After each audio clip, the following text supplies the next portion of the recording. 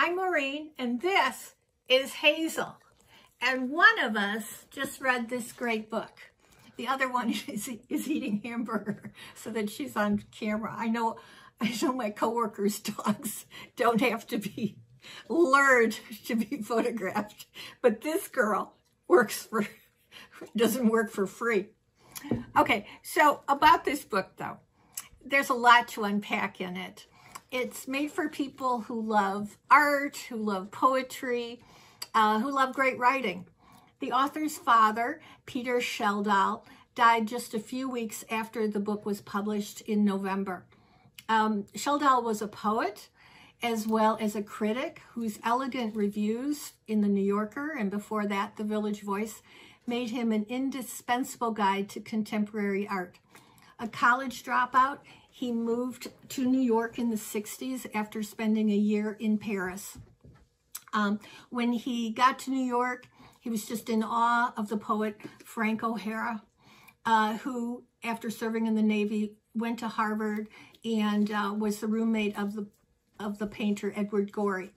In addition to being a leading poet in the 1960s, O'Hara was a curator at the Museum of Modern Art. I have a dog in my lap now.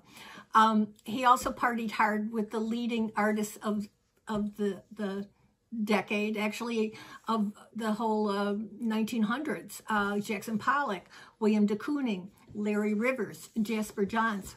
Jasper Johns is my personal favorite, and um, my favorite of his paintings is called In Memory of My Feelings, Frank O'Hara. It's owned by the MCA. Uh, O'Hara died in a freak accident in 1966 at age 40. Following his death, uh, Schjeldahl taped interviews with all um, the artists and poets who um, O'Hara hung out with uh, because Schjeldahl wanted to write his um, biography. Um, he never completed it. And decades later, his uh, Schjeldahl's daughter, um, Ada, found the taped cassettes of the interviews in her father's storage locker in, in the village.